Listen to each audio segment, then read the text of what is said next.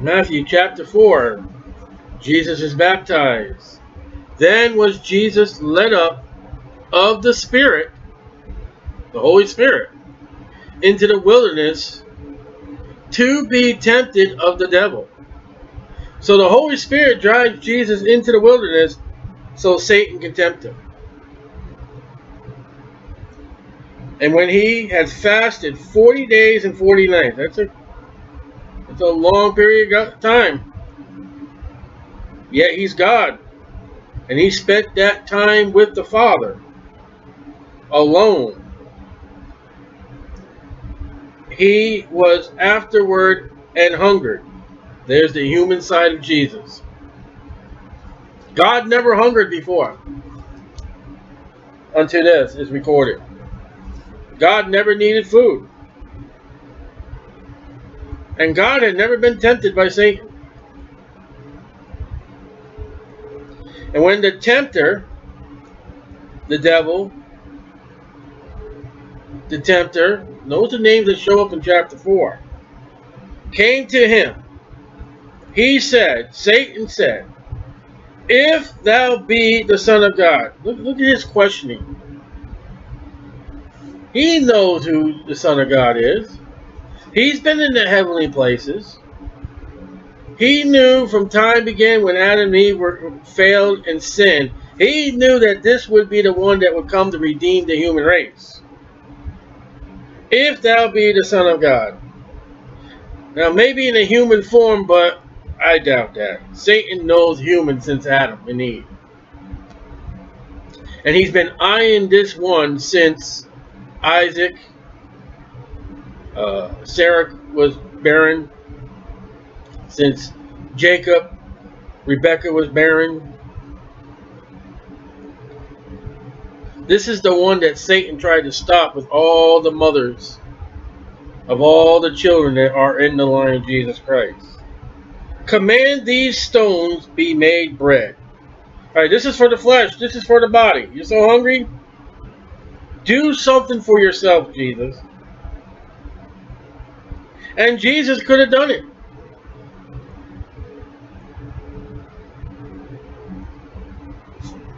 But it's funny because we take chapter 3, verse 9, and you think not to say within yourself, we have Abraham to our father. Or I say unto you that God is able of these stones to raise up the children. You know, John the Baptist said you could raise up the nation of Israel. Why don't you just make some bread?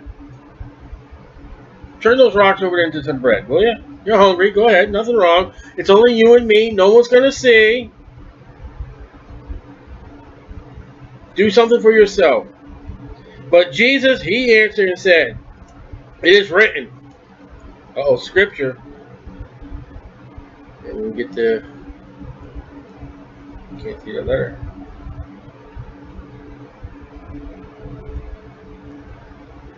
Find Man shall not live by bread alone. Deuteronomy 8 3. Alright? Bread's not important. Food's not important. There have been many Bible believing saved Christians who have died of hunger and starvation. And they are absent from the body and present with the Lord. So bread's not important. But by every word that proceeds out of the mouth of God, he's trusting God. Job 23 12. Jesus is not going to use his power to please himself. It's not about Jesus. He knows he's going to the cross. Why would he have to worry about starvation? Remember that time when he told them, all right, get in the boat, we're going on the other side. And the storm happened, and the disciples, man, they went into a panic. We're dying. Why are you sleeping? Get a bucket, start casting out water. And he told us that we're going the other side. He had no fear. He had no scared. He wasn't afraid. He knows he's going to Calvary, and 40 days and 40 nights of no food is not going to stop him. Then the devil taketh him up into the holy city. Now look at that. Satan is guiding Jesus Christ. Isn't that a weird situation here? He taketh him up. Come on, Jesus, let's go. to the holy city, Jerusalem, and setteth him on the pinnacle, and that is a little tower of the temple. So they are at the temple in Jerusalem. They're sitting up on the roof. How many Halloween movies? Uh, how many Halloween? How many Hollywood movies have you seen where they're sitting on the roof watching the people? I can think of, of the Christmas Carol. I can think of the Wizard of Oz. There was a there was a case where she's up on the roof. They're on the roof kind of structure of the temple. And no one notices. They're invisible. Isn't that a Hollywood thing? And saith unto Jesus him, If thou be the Son of God. Wait a minute. He's over here. He goes, If thou be the Son of God. He keeps questioning his title. Come on, if you're really him, cast thyself down. Jump. Jump. Take your life, Jesus, so I can end it right now. You won't go to Calvary. For it is written. Now, the devil leaves out four words in this quote. He's typical of doing that. And you go back and search it. He shall give his angels charge concerning thee, and their hands they shall bear thee up. Psalms 91, 11 and 12. Least at any time thou dash thy foot against a stone. Now look at that charge. That's a second Advent passage. Come on, Jesus. Do something for yourself. Oh, you're not going to do something for yourself?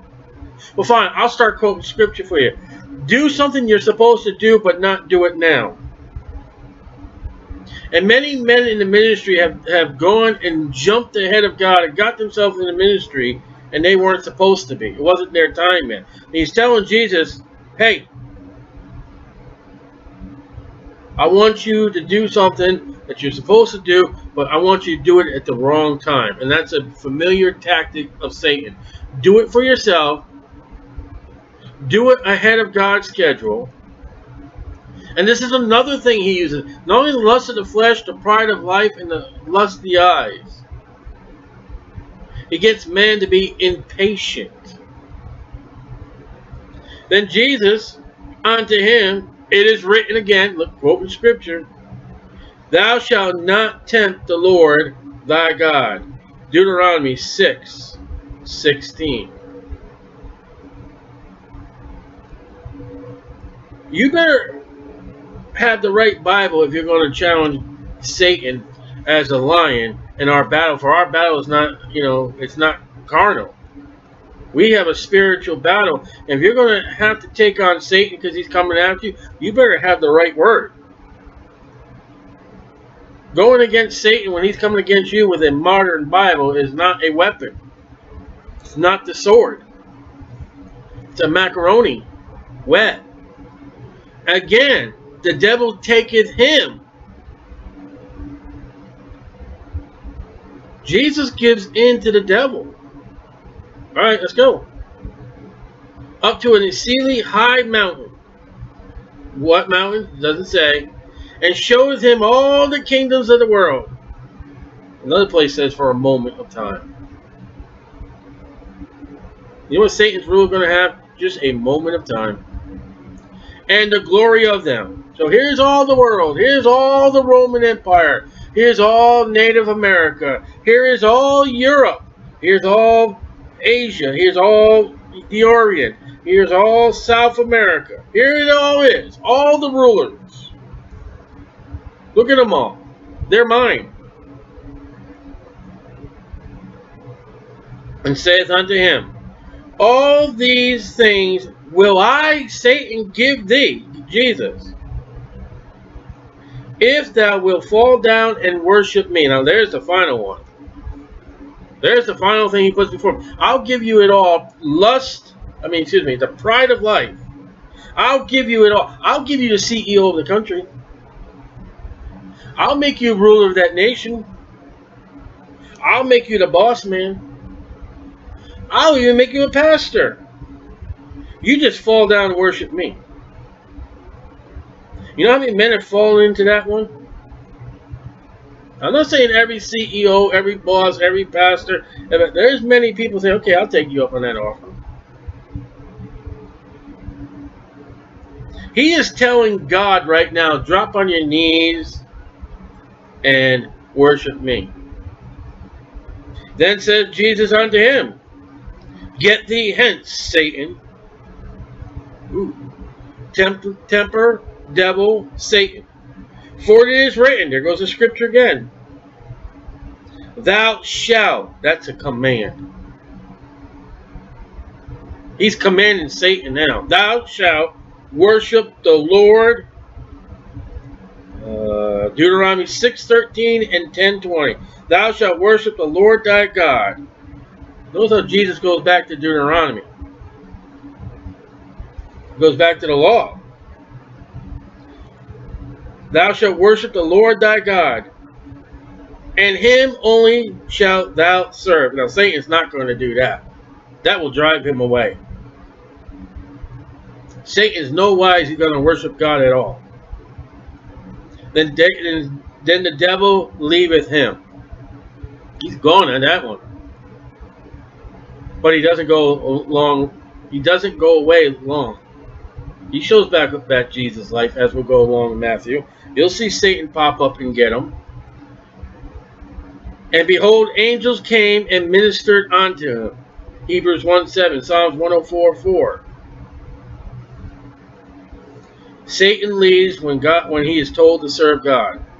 And then the angels came and gave Jesus food and water like he needed. See, he could have changed those bread, that bread, that those rocks into bread, but in God's timing, He took care of them. Probably better food.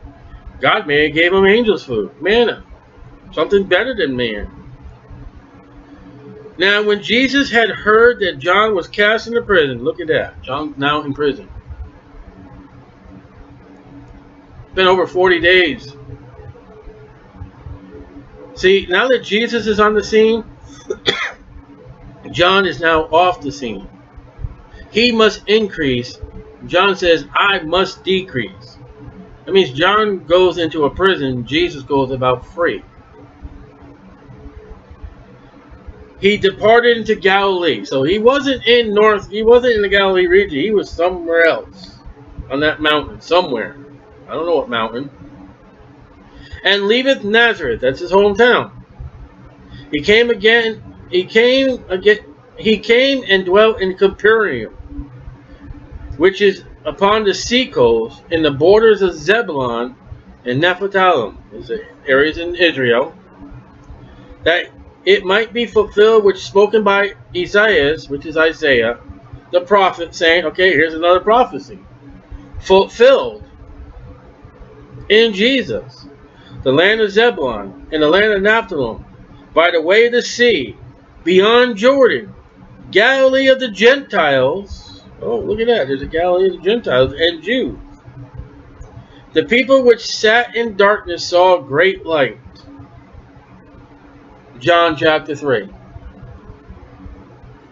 John chapter 1. That's the light. Satan's been kept kept them in darkness, Paul tells the Corinthians and to them which sat in the region and the shadow of death, life is sprung up. They're dying. Light is sprung up. Here's Jesus Christ, the light of God. Now there's hope in the land. From that time, Jesus began to preach. 40 days. And then however long it took the temptation by Satan from his baptism to say, Repent. That's exactly what John was saying. For the kingdom of heaven is at hand. Jesus has taken over the voice of John the Baptist, is now carrying that message to all Israel. He's taking the message to them. John the Baptist, they were coming to him. And Jesus, walking by the Sea of Galilee, saw two brethren, Simon called Peter, Andrew his brother, casting the net into the sea, for they were fishers. So they're out in the boat. They cast the net. They're actively catching, trying to catch fish. They're working. he says unto them, Follow me, and I will make you fishers of men. Jeremiah 16, 16. So come on, never mind those fish you got. I'll make you real fishermen, fishermen of men's souls. I mean, after all, Satan is the serpent, the dragon, the reptile. You know what his people are? His people are fish, not a Christian symbol. Come on, let's go catch some fish, Peter. But Lord, you're out here in a boat. Oh, I got some other fish for us to catch. The Jewish kind. And they straightway left their nets and followed him. So they put the nets down and they go.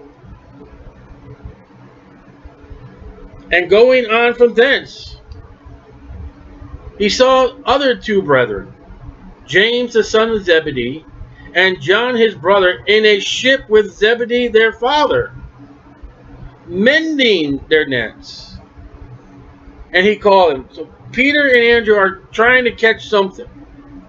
James, John, and their father are mending the nets, keeping them up good, keeping them in good shape, making sure there's no holes, making sure that they're ready for the next time. And Jesus comes up, he says, Hey guys. And they immediately left the ship and their father and followed him. So that they left their dad. Why didn't Zebedee ever follow him? He stayed in the ship. He wouldn't go. And the father wouldn't go, so the boy said, We're going, bye. And Jesus went all Jesus went about all Galilee, teaching in their synagogues. That's their meeting places of all Israel. And preaching the gospel, the good news of the kingdom. He's not preaching the good news, the gospel that I died for your sins and I was buried. That hasn't happened yet. He's telling us, listen, here comes the kingdom. Here's that weighted king you want. That's why they were all excited. And healing all manner of sickness and all manner of disease among the people. In the law stated, if the Jews were right with God, there would be no diseases, there would be no sicknesses. So when Jesus shows up and starts healing people, he's telling you the spiritual spiritual condition of, of Israel. It's a sick nation that needs a healer. Because if they were right, man, they'd be living on the hog. Oh, can't say that for the Jews, sorry.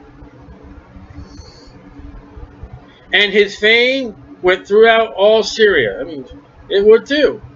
Check out this guy, man. He's healing everybody. Check out the message he's preaching. And they brought unto him all sick people that were taken with diverse diseases, weird kind of diseases, unknown diseases. How's that one? There are new diseases in Jesus' time that they don't even know about. And they're bringing all these people to Jesus. A lot of these people would have been unclean for Jesus even to deal with. But you ain't going to unclean Jesus Christ, the Son of God. And torments. I mean, pain, extreme pain. And those which were possessed with devils. Would you ever see that in the Old Testament? When did that just start showing up? devil possession of the nation of Israel, God's people. You don't see many devil possessions in the book of Acts. When they start going to the Gentiles in uh, Corinth and Thessalonica and Ephesians and, and Colossia and yeah, there's I mean there's a few of them around Jesus' time but they're all in the nation of Israel. This is how sick and perverted the nations got. And yet there's a church in Hollywood that everybody is devil possessed. No, they're not.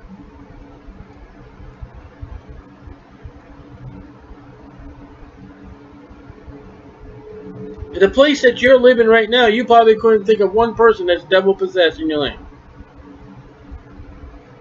There may be some, but here they come.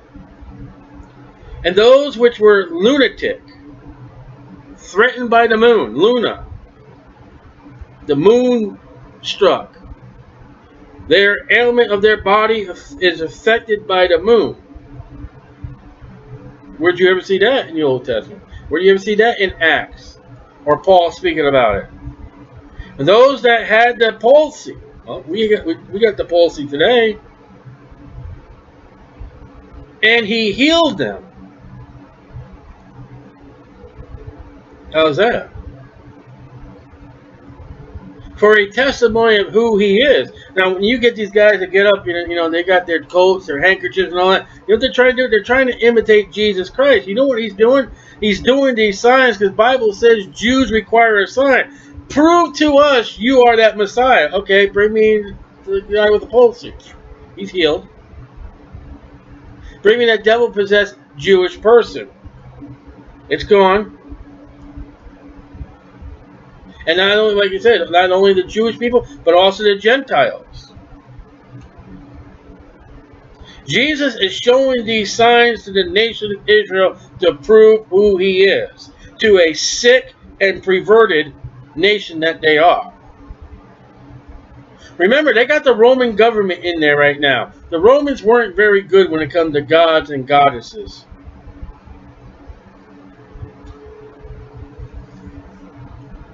And there followed him great multitudes of people from Galilee and from Decapolis and from Jerusalem. Oh, look at that. He's, going, he's got news all the way down to Jerusalem.